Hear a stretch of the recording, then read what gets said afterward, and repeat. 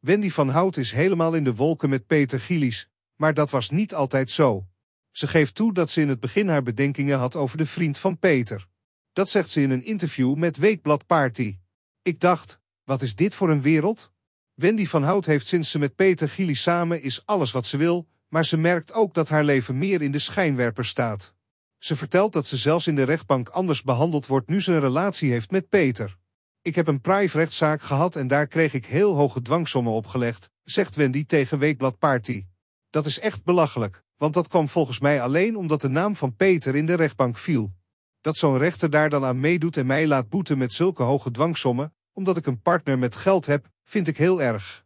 Wendy heeft zich nooit laten afschrikken door alle negativiteit en heeft nooit overwogen om het uit te maken met Peter.